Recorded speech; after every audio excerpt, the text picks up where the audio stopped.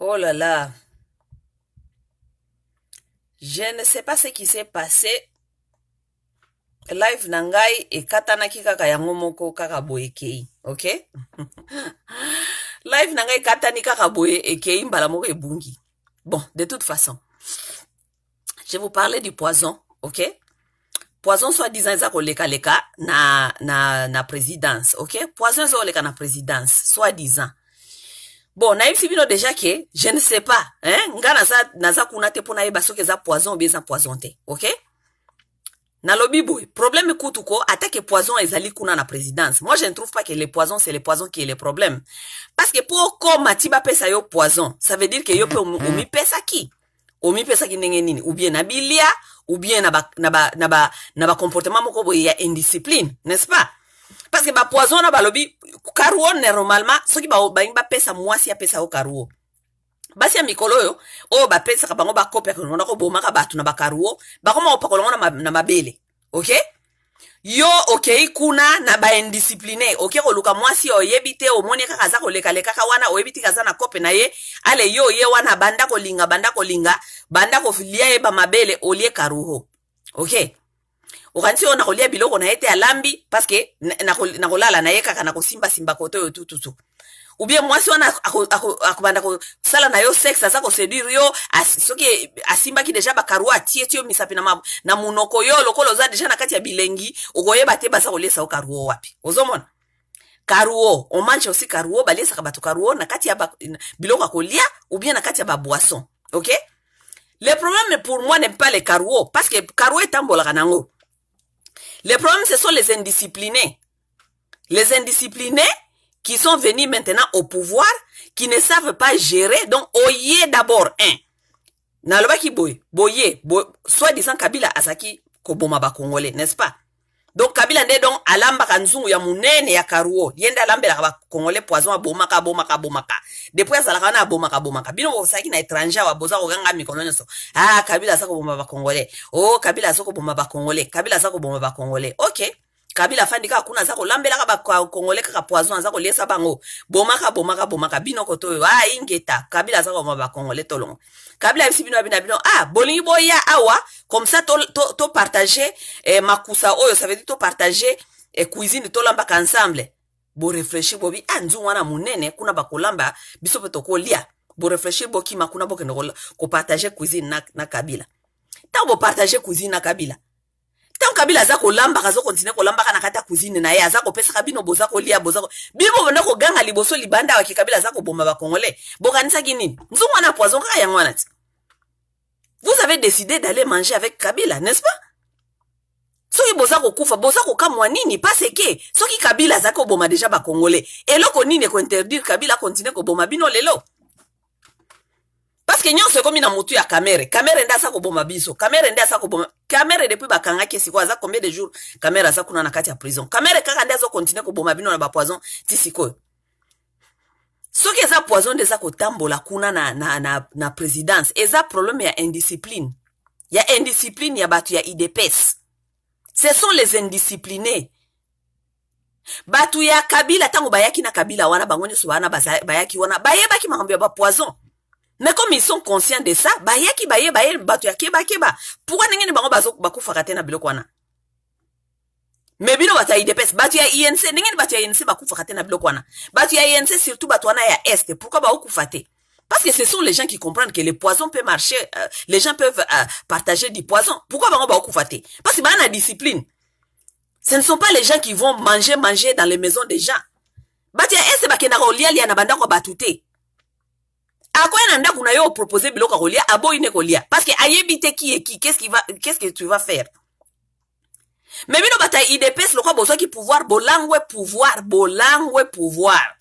boye na kinshasa wana ekomi tour na biso ya kolia parceke nde bobande koloba ti ekomi tour na bino ya kolia tour na bino ya kolia bokomi kinshasa ba les indiscipline kosimba mwasi oyo kosimba mwasi oyo oyebi te bapesaki nani karuo oyebi te nani batiaki, batiaki karuo na mabele mpo amelisa yo mabele okufa hmm? kolia na bandako oyo kobima awa kokendaka na banganda koliaka bantaba komela n'importe comment ko, loyenge loyenge pouvoir ya biso il faut tolia tour na biso ya kolia voilà oyo yango bozo kokufa bozo kokufa parce que vous êtes des indisciplinés c'est tout vous êtes des indisciplinés hmm? botuna baboti na bino baparent na bino oyo bateya bino te discipline mwana ya moto aliaka n'importe ou te n'importe comment te hein? les indisciplinés éducation il faut ezonga ba rééduquer bino les indisciplinés hmm? kabila aza koboma bakongole kabila aza koboma bakongole boya sikoyo boye bokomi wana bozwa tolia bozwi bobandi kolia donc nzungu wana aza kolambela poison wana banda koboma kaka bakongole bino nde akoboma te bino nde akoboma te mpo bino nani bino ba spécial hmm? c'est ce qui se passe là-bas s'il y a du poison je dis s'il y a du poison ok s'il y a du poison parce que balobi ke siko ekomi soit disant makambo ya poison s'il y a du poison nani aza koboma bino vous mangez avec qui lorsque vous sortez vous sortez avec qui lorsque vous, vous sortez avec qui vous allez manger chez qui les indisciplinés bato bazanga discipline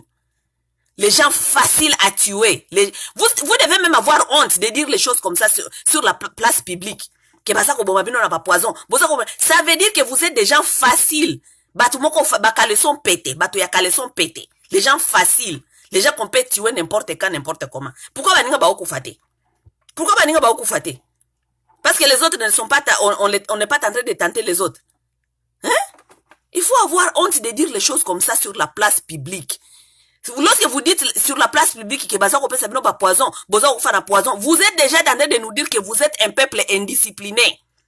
Un peuple qui n'a pas de discipline, un peuple sans éducation, un peuple mbana oyo bakoli sa baliaka bilialia baliaka n'importe où. c'est ça c'est ça l'éducation que vous avez yango wana ememi bino na banzela ya poison na banzela bakaruo si c'est ça vo vraiment votre excuse ke baza koboma bino na bapoison baza koboma bino bapoison ngo bozo koliela yango wapi boza kozwa ngo wapi na kati ya indiscipline non c'est na l'indiscipline alors alors réviser encore l'éducation reviser l'éducation que vous avez nani ateya bino bokendaka koliaka liaka ba, na bandako ya bato nani ateya bino bozanga discipline boyeba kose conduire ko, euh, con, ko, conduite na bino eza ya mabe yango wana vous vous conduisez mal mwana oyo ateyami na baboti ateyamaka on ne mange pas chez n'importe qui n'importe quand comment soki oki epai ya bato bapesi yo biloko ya kolia loba non merci c'est comme ça me lokola bino bateya bino oki epai ya bato oliaka liaka ndenge olingi liaka liaka ndenge olingi kota awa bima awa zwa mwasi oyo bima awa sala boye sala boye voilà voilà voilà voilà votre adversaire vous a eu vraiment parce qu'il connaît votre vos comportements c'est ça moto akoboma yo te soki ayebi comportement na yo te moto akokotelo na ndako te asala yo mabe soki ayebi comportement na yo te il faut ayeba comportement na yo mpo asala yo mabe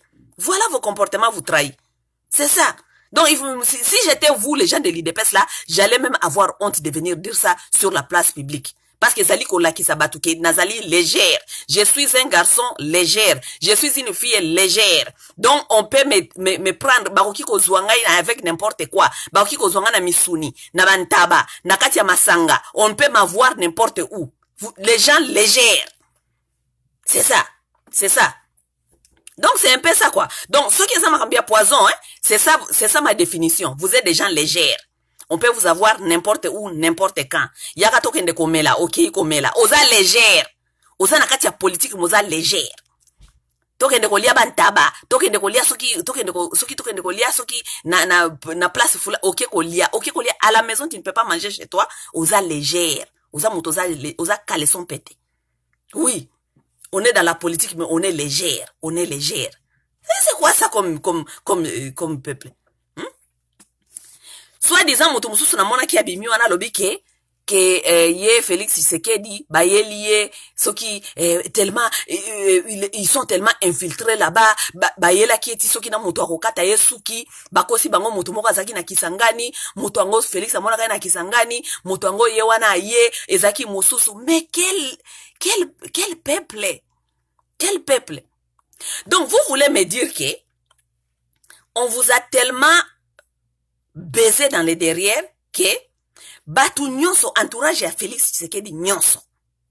tous les gens qui entourent Tshisekedi plus hein, plus service na ye ya sécurité ok donc toloba nanu service na sécurité service na ya renseignement tous ces gens là qu'ils étaient même avec lui na kati ya bacampagne bamonaki te bamonaki te attendez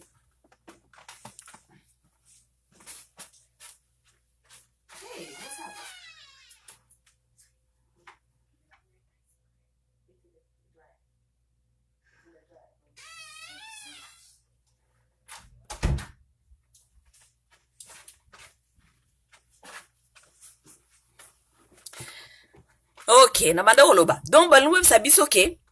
bato wana nyonso bazali baentoure félix tshisekedi ok service à sécurité, service à renseignement, tous les gens là qui entourent Félix Sekedi n'ont pas su que les messieurs soi-disant qui étaient à, à, Kisangani, ce n'est pas celui qu'on avait amené à Kinshasa. Ah, ça c'est quel peuple. Ça c'est quel peuple. Vous n'avez pas honte de venir dire les choses comme ça sur la place, place publique Si on peut vous infiltrer, la bino mutu oh, moko bomonaka. soit disant bomonaka ye na kisangani moto oyo bino bomonaka, bomonaka baye bachangele bino ye bayeli bino mosusu na kinshasa bino mpe boyebi te na service ya renseignement na service ya sécurité na bato oyo basalaka ba wana tout le monde même félix lui même amonaka moto akataka ye suki mais moto mosusu nde akoma kokata ye suki epuis atikali jamais koreconnaitre ko ke moto yango yeyo te mais boza bizengi boza bizengi si vous n'êtes même pas capable soit disant nayebi te ndenge tozoka lisolo yango soki mpe eza ya solo soki mpe eza fonde parce que bino kote kofonde mpe masolo boza grave ok soki mpe moto yango ya solo mpe bainfiltraki bino moto wana donc vous êtes nul d'abord il faut boyoka soni ke tout de suite là, vous devez démissionner, vous tous. Parce que si vous n'êtes pas capable de contrôler votre propre sécurité, Moutou Ayaki Akatio Souki, Ozoko quand même pas qu'on reconnaître yé. mais est ce que sécurité ya bacongolais nde bokoyeba kosécurise vous n'êtes pas, vous n'êtes pas capable de sécuriser votre propre sécurité ya mutu moko bainfiltre bino mutu moko mutu yango mpe bomona eza te ke o bosalaka interview na telefone boyebi te bomonaka meme mpe azalaka molai ndenge nini azalaka ndenge nini eloko te baye koinfiltre bino ye il est là il travaille tous les jours soit disant hein, histoire na bino parce que nayebi te soki eza ya solo soit disant histoire na bino bolingi boyebisa biso ke motu wana mpe aye s- alekaka sécurité mikolo nyonso d'abord boza bo, est ce que boza na- d'abord oyo babengaka eh, eh, nani human resource nani azwaka bato na misala nani azwaka bato na misala nani asalaka bato interview nani azo, ake, na, na, qui fait tout ça Donc le monsieur là, il a passé tous ces gens, il a passé tous ces gens, il a passé même la sécurité, il a passé même tous les gens qui lui ont vu à, à Kisangani et il est, il est, il est arrivé, il s'est infiltré comme ça. Si c'est ça vraiment le cas, nakoseka bino nyonso bodémissionne à partir ya président na bino na bato nyonso baza na présidence badémissionne parce que soki bokoki koassure sécurité na bino moko te ce n'est pas la sécurité des peuples congolais que vous allez, vous allez sécuriser donc boza bamédiocriti na niveau oyo tokoki même pas kocomprendre bopesa fachi be bopesa ye chance bopesa ye chance quelqu'un qui ne peut même pas sécuriser sa propre sa propre son propre espace moto akataka ye suki ayebi te azali nani soit disant bainfiltraki bino moto akataka ye suki ayebi te azali nani vous voulez nous biso topesa ye confiance topesa ye mboka akamba akamba biso asécurise biso quel peuple quel peuple quel peuple yoka nano baargument mosusu bayelaka biso awa na, na, na internet baargument moko boye ça vous fait eza koridiculize bino même mais vous avez même pas honte de venir dire ça les choses comme ça sur la place publique boyokaka soni ya kolobaka biloko mosusu na place publique ça fait honte ça fait honte hmm? ça fait honte donc bino bato ya, ya soit disant baza koboma bino na baza koboma bino na, na, na présidence baza kotiela bino bapoison na présidence baza koboma bino soki mpe corona soki mpe corona te biso mpe toyebi te mais boyeba ke nazi nayebisaki bino ke makambo oyo quelque part tokomi mpe kotalela yango na, na niveau spirituel totala yango na niveau spirituel ndenge nini bino bato ya idps bino bato ya idps ntango etienne tshisekedi azalaka vivant tshisekedi ntango akufi ntango tshisekedi akufi ayebisaki bino ke mokolo akokufa boyela ye kagame na, na, na stade ayebisaka bino bongo eske boyebi boyebi gravité ya kokende kodetourne wish wish ça veut dire eloko oyo moto azaka kosuete obie kosuete te bodetourne yango bosalela ye oyo le contraire ya makambo ye azalaki kosuete na liwa na ye eza neti nga lelo nakufi nazalaka na nga na baennemi nango mpe eza na baproblème nango mpe natikaki makambo moko boye esalamaka boye esalamaka boye te moto aye kodetourne makambo na nga oyo nalobaki mais okei contre volonté na nga okei contre volonté ya moweyi me bokofuta makambo nyonso ma, oyo makambo bosala oyo botyolaki bakongole wana boyeli biso kagame bokei bokomi bamasi ya kagame bozo kotyola bato babomaka bakongole bato wana mpe bakufa wana bakagame baboma wana eza bamilimo nano epemi te parce que mutu soki akufi balobaka rest in peace ça veut dire que ame na yo epema na kimia yo soki babomaki yo ame na yo okopema na kimia te parce que nanu justice esalami te sikoyo bato wana nyonso baboma wana justice nanu esalami te mpo na bango bino bokei bobandi koseka milimo na bango boyela biso kagame me milimo wana ekopema eko, eko, eko, eko na kimia te parce que lokola nanu epemi na kimia te milimo wana mpe ezali kotourne eza koluka justice oui milimo wana eza kotuna eza koluka justice esprit de 8 millions efandaka wana ezo koluka justice etambolaka soki ekomi quelque part parce que eza, eza, eza lokola énergie soki ekomi quelque part il faut etenir quelque chose mpo etenir quelque chose ekobandaka kofrape bino bato boke koteka ko, ko, ko mboka ekofrape kaka bino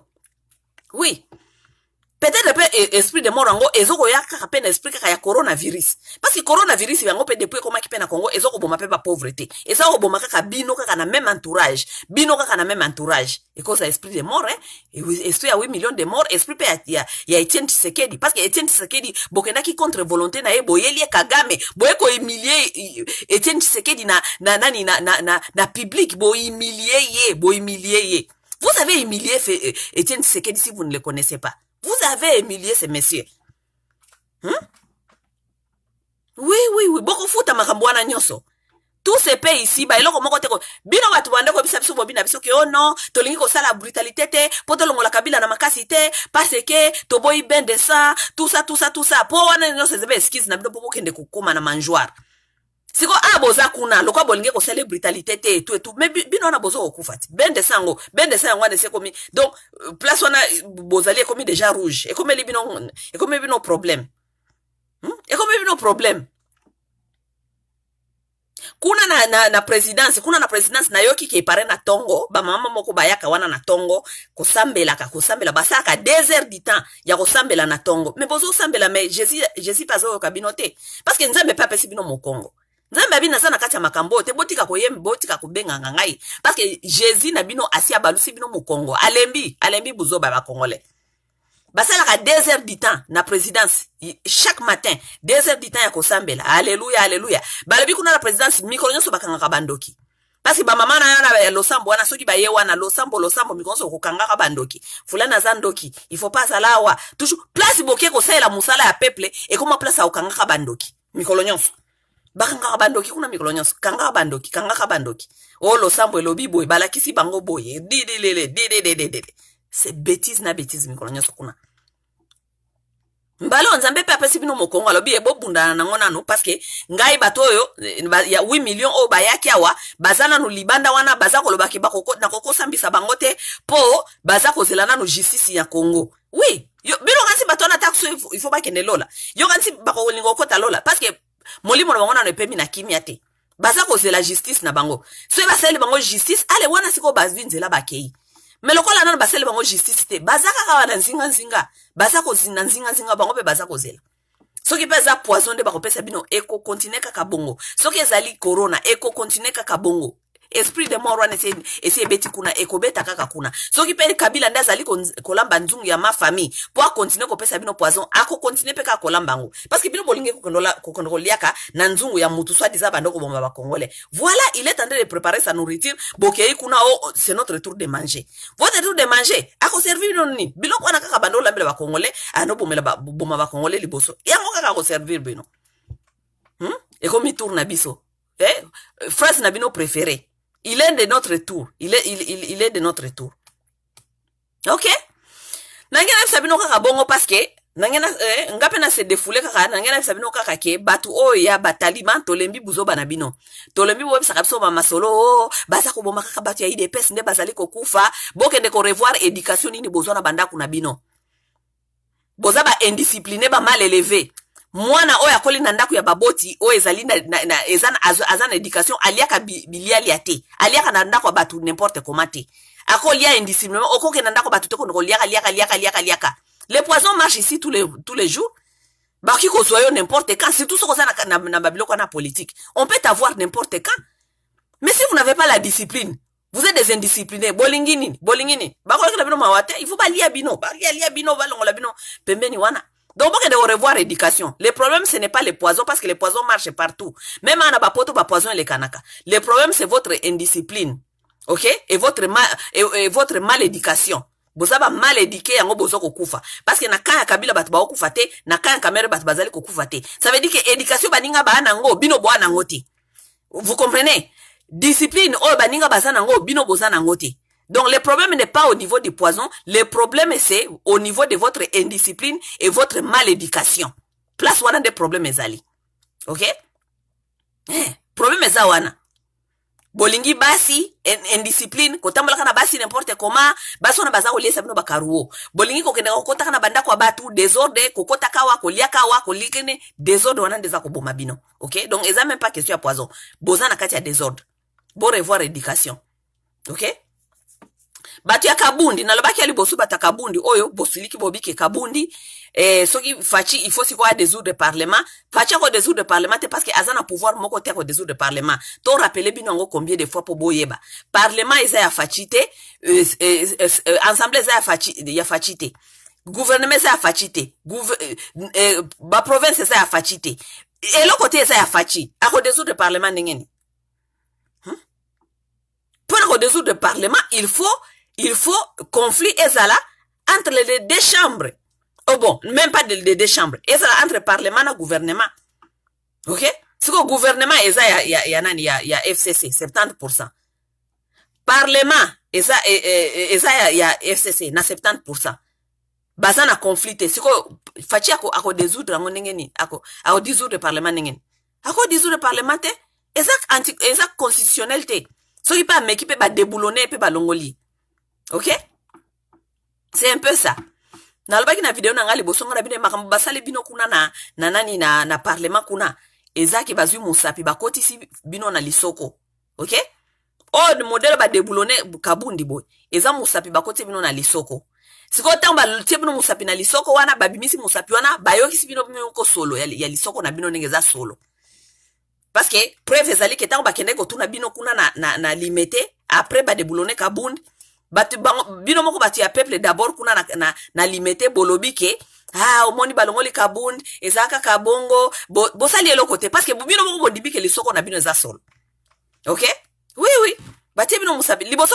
bano banda bino kaka moke boye lisapi na liso bolobi ai batubi bino lisapi na, na, na, na litama ai balobi bo tomeka nano na kati ya lisoko tota soki baosa nini ale bazwi mosapi yale batie bino na lisoko bolobi eloko te babimisi lisoko mosapi balombisi bino bobi a ah, lisoko yango vraiment eza solo oui donc bondimi ke ye un problème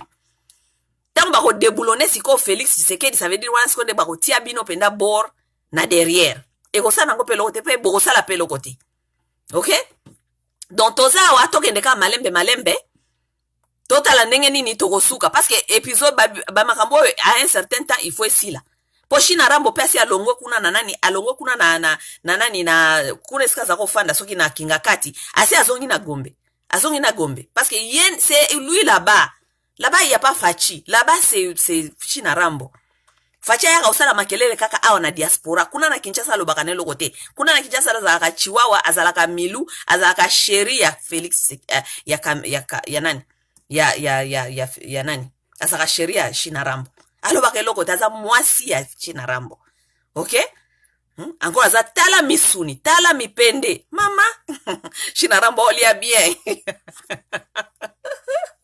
yoka misuni ya Fachi. Mwana mwasi, mwana mobali soka atamboli boyoka misuni ezo denda boye. Eh, mama suka. Vrai chérie.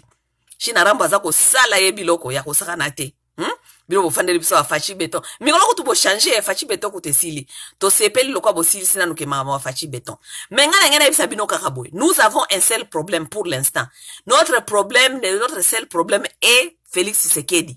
batika bino na kati ya badistraction kamere boye kamere basi bakangi ye kamere aza kuna na prison notre problème ne plus kamere problème na biso ke kamera azala kuna afanda kuna asamba soki bakokanga ye bakangi ye il est maintenant hors état de nuire kamera est hors d'état de nuire pour l'instant nalobi pour l'instant ok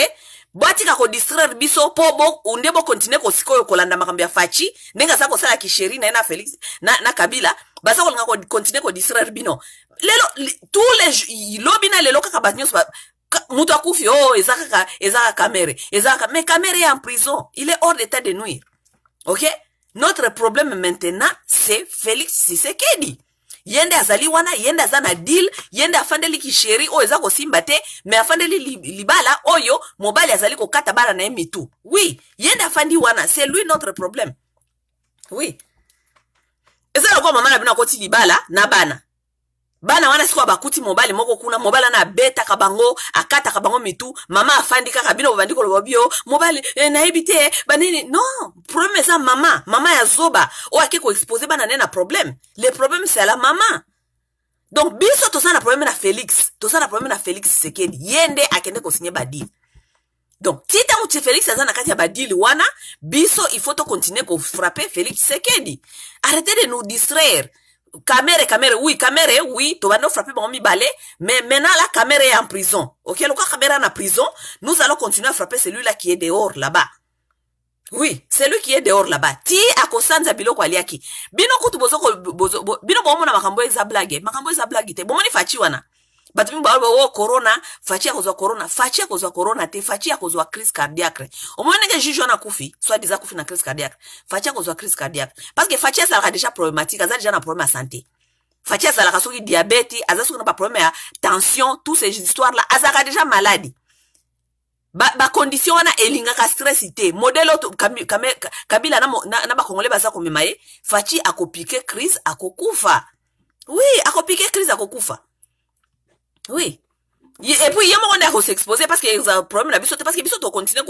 kosala makelele tokontinue kosala makelele kabila mpe akontinue kofrappe frappe frappe babino ti faci akozwa crise donc bino sikoyo na place ngai kutu soki nazalaki mwasi na ye nde na ye se deja papa tika tozonga na biso tokende ofanda la vie na biso tozalaki liboso kofanda parce que modele oyo tozokende boye okoya koperdre na vie na yo likolo ya makambo ezanga ntina hmm? parce que ndenge tozokende boye manda donc depuis histoire ya congo ebanda congo nano ebeba boye te na, na ndenge ya faci congo nano ebeba boye te non congo nano ebeba boye te siko histoire yo olingi komema na vie na oyo yango oyo ke manda na yo parce ba manda yango ekende kaka boye tala makambo ndenge eza koleka bakongole baza kuna na kati ya na, na baprovince kuna na, na, na kati au fond au fond du congo bayebi na bango makambo ezokoleka te baza kozela mokolo moko boye peut-être vie na bango ekobonga bayebi te eloko nini ekosalama bato kuna na kinshasa bazali kuna baza kobunda na parlement bazali koswana makambo ya bafaci beton etotu le pauvre congolais qui est là-bas au fond du pays là-bas aza kozela bino bozwela ye mm, eh, eh, eh, bozwela ye basolution na, na, na, na makambo ya vi na ye hmm? sikoyo bamanda na bino ekozala kaka boye parceke soki tolobi soki olobi alekisa soki 5 soki 5 ekozala kaka boye benda bika bazongi boye babundi boye bazongisi boye balongoli ye babomani kote oyo babomani boye nde manda ekozala kaka bongo soki, soki felix aza na mayele soki ngai nazalaki ye nalingaki na démissionne na démissionne donc naboya makambo ya kabila na démissionne comme ça tobandela a zero oui peut-être akobima hero eh? soki asali ndenge wana akobima hero bakongoli bakoloba babi mais oui quand même à un certain point il a remarqué que ah, il, il, il y a un ça ne va pas puis pays ekokende esika moko te parce que na ndenge tozali kokende boye mbutu mbutu pays ekokende esika moko te parce que il ne contrôle rien il ne contrôle rien pays eloko rien ne va se faire les lois se vote eh, eh, baloi bavotaka yango kuna na parlement hein? reforme ya baloi esalamaka na parlement sikoyo yo oza na parlement te eloko nini bakosala reforme kuna na parlement mpo yo oyeba kogere eloko te hmm? eloko te bino moko bomoni ndenge ntango basali bavote ya bomoni bavote ya pour et contre ata bino moko donc eloko nyonso banda okuma kuna na parlement so babi bavote pour et contre ekobanda ozala kaka bongo ça veut dire bango bakozala toujours na pour et puis pour yango tala majorité combien hmm? sikoyo tokokende kaka boye tokokende kaka boye bino bato bozongisa biso boya, boya tosalisa kasi faci boya tosalisa ye bakosalisa ye ndenge nini il ne peut rien il ne peut rien il y a rien là-bas il ne peut rien faire tokosalisa ye na kati ya rien on ne peut pas aider quelqu'un dans le rien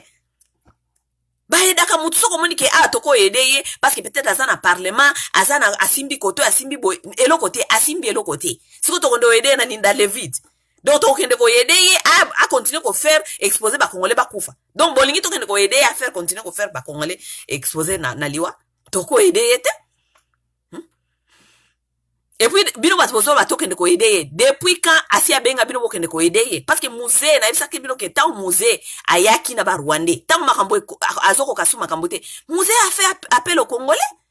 musee a appelé le congolais musee a dit en tout cas prenez vous en charge bato oyo eza baye koenvahir mboka oyo les congolais sont sortis na kinshasa batumba barwandais barwandais bakima bazonga kote ya este bakenda kose refugie kuna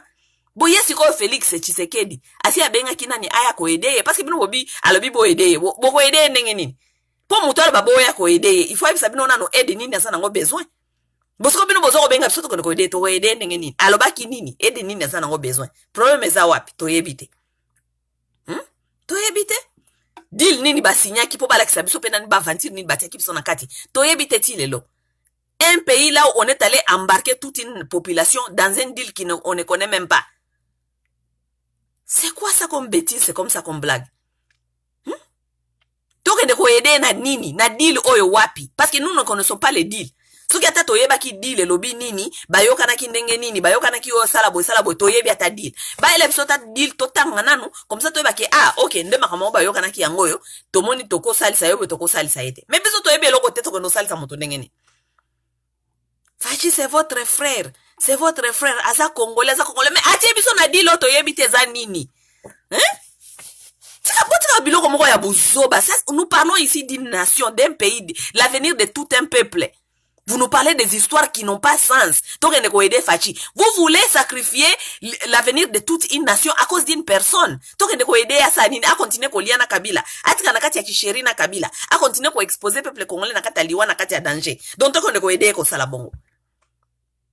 Qu'est-ce qu'il est en train de faire oyo biso tokoki kokende koede ye asala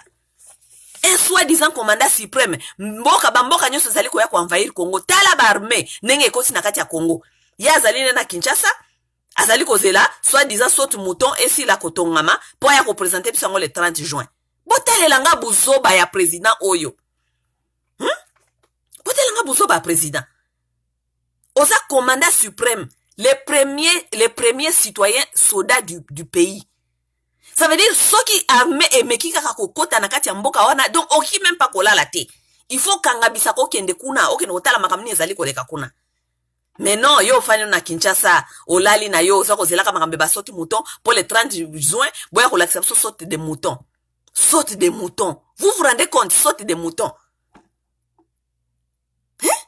nde c'est ça donc bandeko na biso bataliban balingi biso biloko ya ndenge wana nde tosepelaka na yango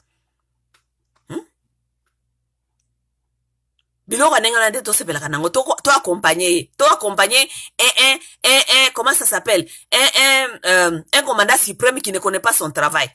toakompagne un commandant suprême lau na mboka babomaka bato mikolo nyonso toakompagne ye ndenge nini ana arme te aza na eloko te aza na pouvoir te aza na ma eh, eloko moko te tokona koakompagne na batapi rouge na esengo ya tapi rouge parce que komi tour na bango ya kolia ti n'importe quoi ti n'importe quoi biso tozali awa tokontinue kobundisa faci parce que pour l'instant nous notre problème c'est faci nous on a rien à foutre bato problème na biso ezalaki bango mibale oyo bakendaki kosigne epa kabila ye na moninga na ye ye na moninga na ye kamere mais pour l'instant comme kamere ye hors d'état de nuire aza na prison nous allons continuer à frapper félix tshisekedi botika koyelaka biso badistraction kamere a fait ceci kamere a fait cela kamere est déjà dans la main de la justice ok soki mpe faci nde akangisi ye toyebi te soki mpe eza kabila nde akangisi ye toyebi te parceke ndenge ezali wana ekosa mpe kabila nde akangisi akangisi bozo mikosa ekosa kabila mpe nde akangisi akangisi nani eh, nani eh, eh, eh, eh, kamere mpo na kopesa felix deséquilibre lokola felix alobaka na ye te parceke ka, kabila nde mpe alongoli, alongoli mark kabundi boyoki felix, felix alobi eloko alobi eloko te parceke ana pouvoir te ekozala mpe kabila nde akangisi akangisi kamere mpo na kopesa faci deséquilibre kodeséquilibre présidence wana bapesaki ye ya monyato ya lokuta oui parceke tokende tozonga tomata tokita faci azali na mayele te moto azali kosunga ye na mwa mayele ya, mu, ya, ya peut-être ya, ya moke obie ya moyibi mpo basala boye basala boye eza kamere nde aza kosunga ye na mayele wana bosuku ntango balongoli kamere na pembeni na ye eza kodesequilibre ye mpo bayebi ke kala mingi te aza kokwea qu'est-ce que félix peut faire qu'on se dit la vérité qu'est-ce que félix peut faire félix ne peut rien faire il ne connaît rien il n'est pas intelligent le monsieur n'est pas intelligent ayebi kaka koloba français mpo akola na poto moto nyonso na poto alobaka ne français il n'est pas intelligent hein? mwa intelligence wana ya, ya, ya, ya magui wana ya moke moke moto abanda opesa yango kamere a kamere akei kuna nde ba, donc, de, de, donc nde, nde, nde ba, kabili bakozoba bako ye lisusu ya kosakana te hmm. parce que moi nakomi kozala convaincu ke eza, eza, eza kabila nde akangi akangi akangisi nani akangisi akangisi nani akangisi uh, nani kamere oui oui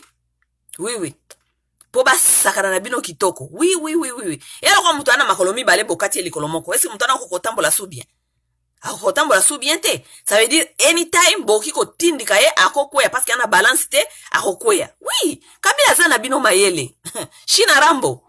ha kisheri bokende komitia kuna na, na shina rambo bokosentir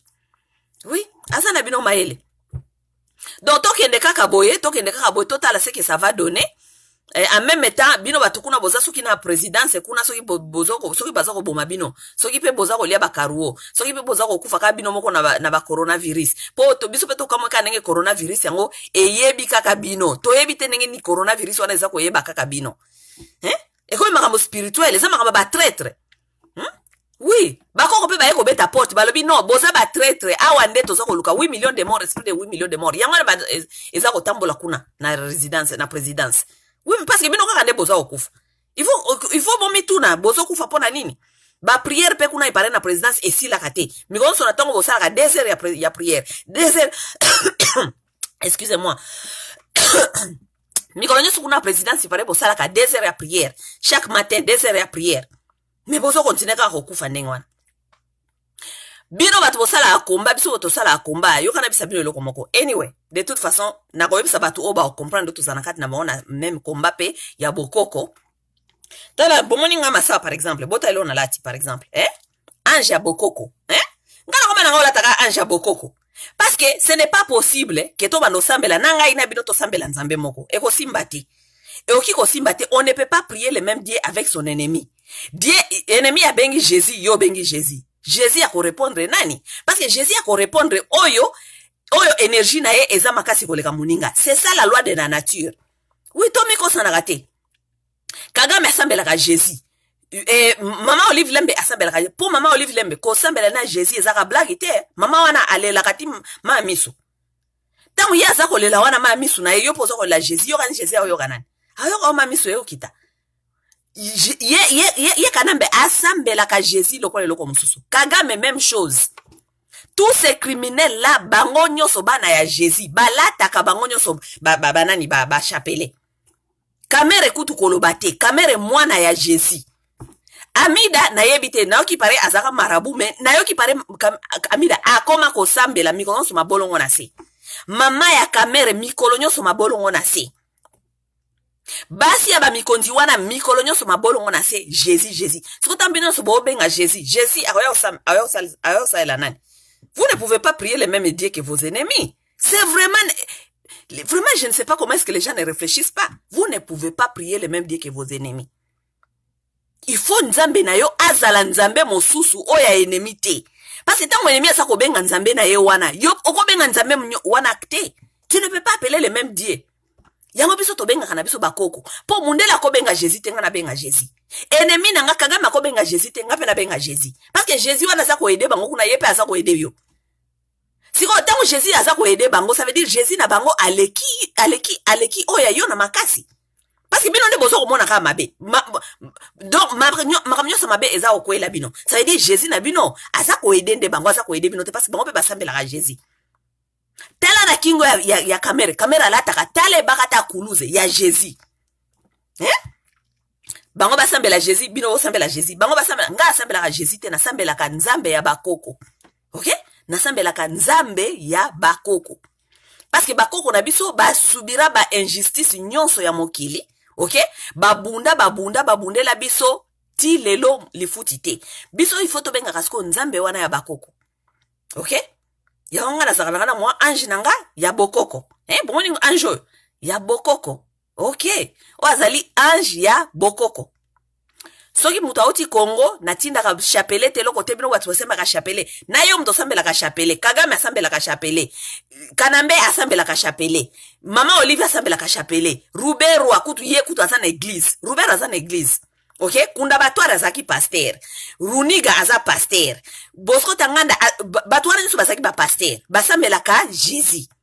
bango basambela jésus yo osambelaka jésus non non non non non je ne peux pas prier les mêmes, les mêmes dieux que mes ennemis je dois prier les dieux de mes ancêtres ok je dois prier les dieux de mes ancêtres comme ça totala na kati ya nzambe na bango wana na oyo ya ngai sikoyo nani akoganye biso tokoba kosambela kaka nzambe ya bakoko ngai so ntongo etani kaka boye mwa eloko na ngai oyo nde chapele na ngai bino koka bolataka chapele ngai alata na ngai eh, nani ange ya bakoko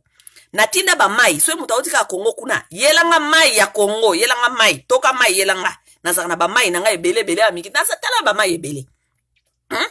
soki moto aye na kongo yelanga mabele mabele ya kongo tokelanga mabele yelangaka mabele tokomi kosala losambo na biso na mai ya kongo mabele ya kongo mai ya kongo mabele ya kongo donc tolamuki nano na ntongo boye tofungoli nano boye soki fosa priere mpenza obandi kolobela mabele oyo lobi e boni bakoko bozo koyokisa biso soni banda makambo yango ebanda na kongo ndenge wana biso mpe tozobunda mm, wana diaspora mm. tozobunda bino mpe bosala ya bino mosala ah oui olobeli nano mabele oyo olobeli yango olobi na bango bino mpe bosala ya bino mosala bakoko bosala oyo ya bino mosala parceke nde mabele nde tozali kobundela bino nde tozali kobundela tobundela mabele ya kongo tozobundela eloko mosusu te ah oui bakoko mpe banda korepondre hmm? soki bozo kosambela kaka jésus bango basambela jésus bino bosambela jésus bango basambela jésus soki ba, soki soki tosambeli tosambeli mabele tozwi mpe mai oyo lokola bino bozwaka mai na bino soki obeni te bobwaki bwaki na ndako biso mpe tozwi mai ya congo biso mpe tozwi mai ya congo ale totie mpe awa na front totie mpe na front tobi nzambe sunga biso toujours mobimba parceke tozala mpe na makasi tozala na nguya ya kokontinue kobundelaka mabele ah c'est comme ça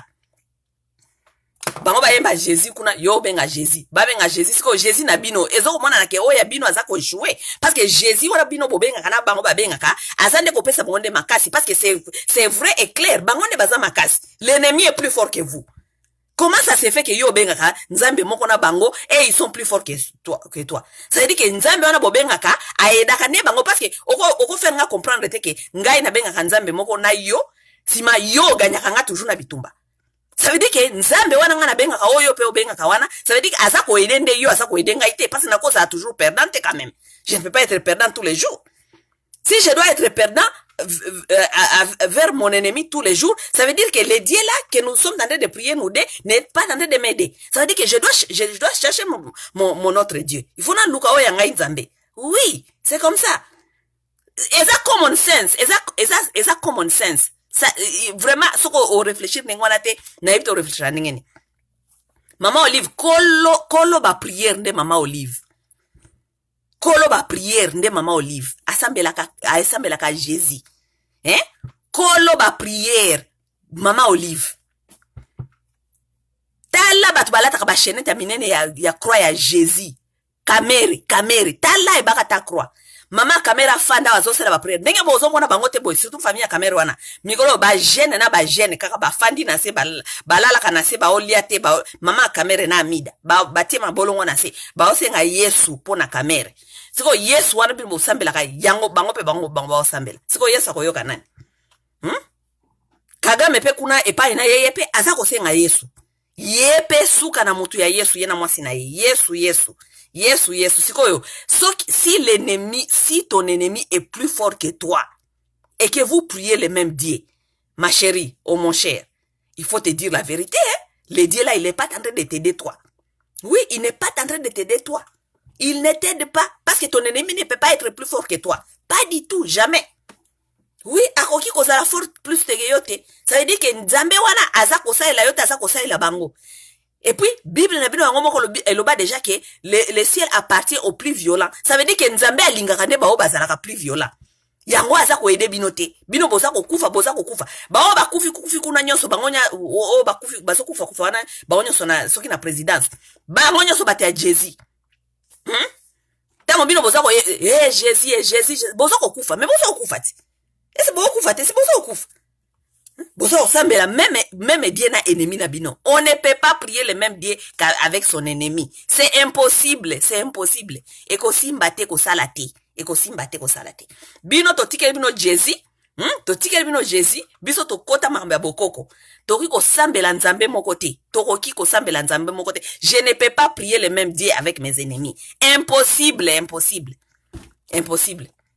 nakosambela bakoko nakobenga bakoko bato nyonso bakufa mpo na mabele wana ya bakongo nakosenga bakoko oyo ya biso bakenda batikela biso mabele wana oyo lelo bakomi kobundisa biso mpo na mabele bango nde nakosenga aide bino jésus te mpo jésus atikala jamais kokóma na congo jésus kutu jésus akufa akenda ayebaka meme pake congo existaka siko ntango tozoyebisa jésus o oh, jésus talela congo talela congo jésus ayebi congo te jésus ayebi congo te congo ezali fabrication ya nani ya, ya léopold de na, na, na, na, ba, na baimpérialiste na, na, na 1885 1985 nde ba créer Congo Congo n'existait pas sikoyo ntango bino bozo komisa jésus salela congo salela congo boza koambrie ye il ne connaît même pas le congo ayebi congo te hmm? voilà voilà ayebi congo te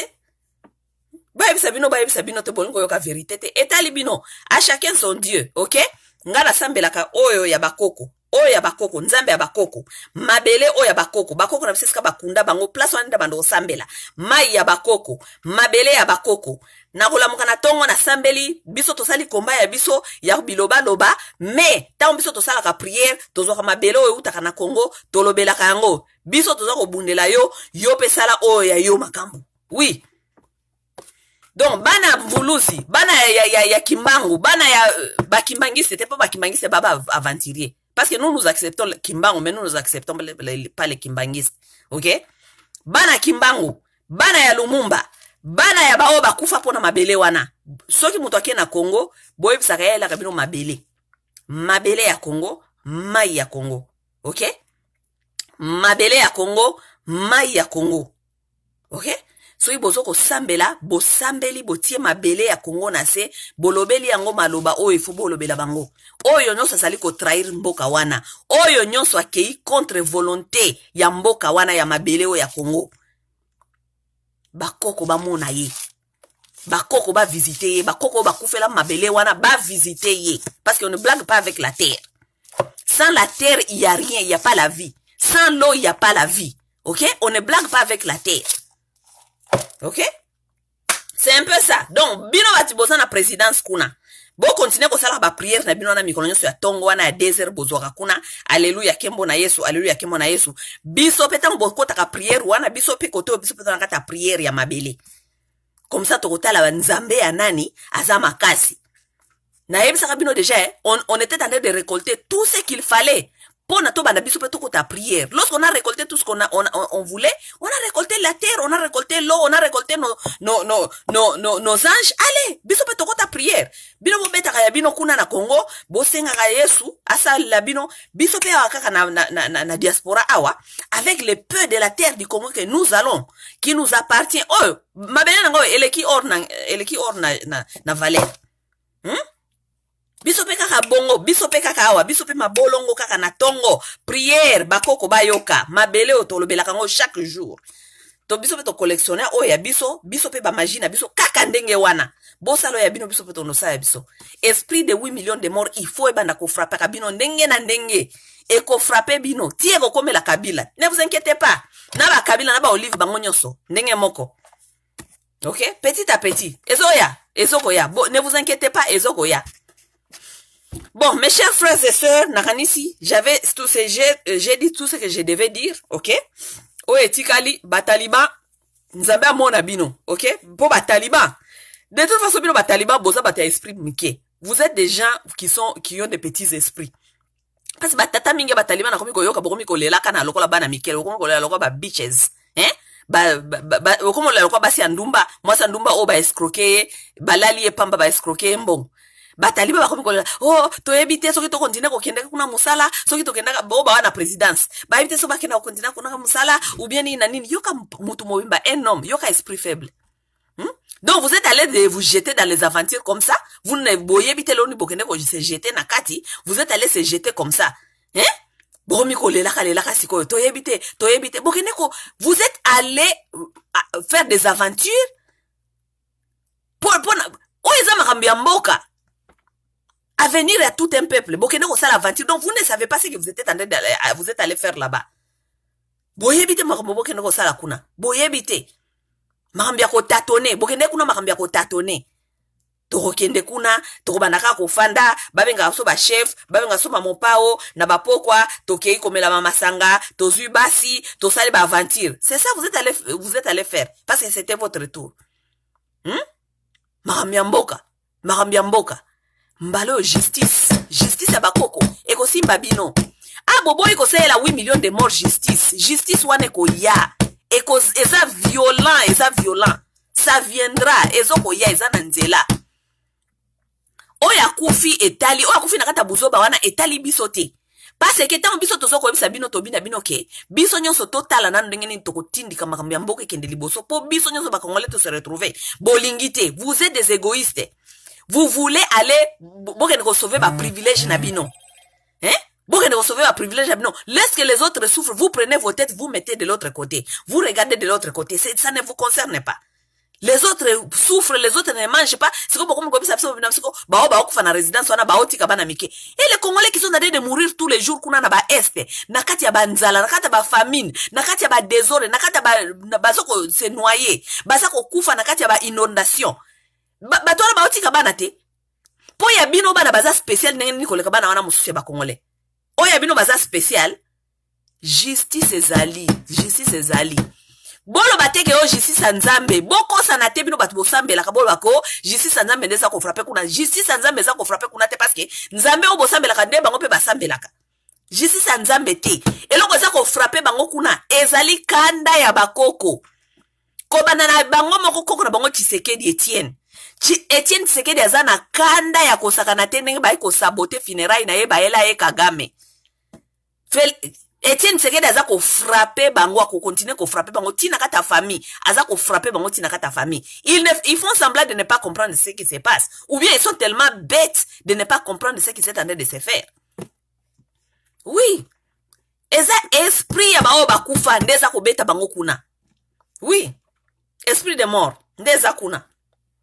Venge ekosalama ekosalama bakokontinue konetwaye bino konetwaye bino ndenge wana konetwaye bino ndenge wana ok soki mpe eza mpe poison soki mpe eza caruo nyonso eza kaka eye kaka na esprit kaka ya e, esprit ya vengeance ya bakoko na esprit ya, ya vengeance ya 8 million de mort bokokontinue kokufa ndenge wana ok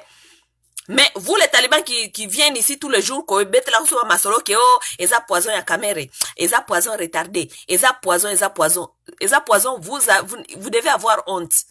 on ne peut pas vous donner n'importe quel ne poison n'importe quand nga masawa awa nakenda na bamitingi kombe ya barwandais awa bakongole nyonso baboyi kokende baza koinvite bato babio tokende koyoka kuna bazokoloba soki baosa baconference etu etu toyesi bakongole tokende kuna tokende koyoka baconference baoloba nini mpo barwandais bazalaka bato ya lokuta basalaka baconference ndenge wana babengi bapresse tala international bino lokola bakongole bozala kuna te o bango bakoloba kuna nde ekoleka lokola boza te kuna mpona kose defendre presse international ekokoma makambo bango balobi so esi bakongole tokende kuna koyoka tokeke na contredire bango yoka bakongole ah non non non dada na okendanga kuna te mpo bato wana bazalaka makasi na poison baza na makasi na poison baliesi yo yango bakangi yo maboko baliesi yo poison hmm? bakangi yo maboko baliesi yo poison baliesi yo poison te hmm?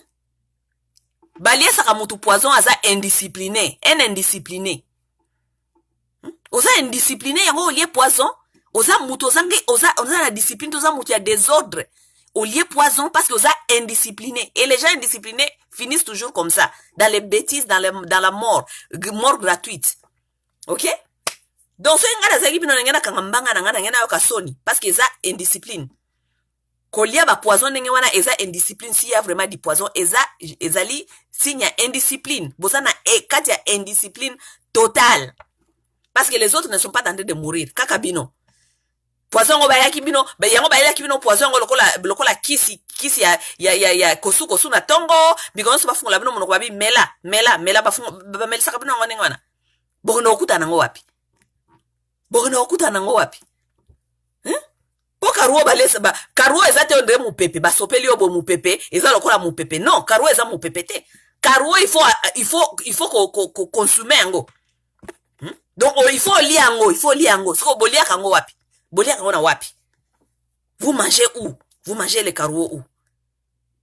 faut avoir honte botika biloko ya koloba kaka biso makambo ezanga ntina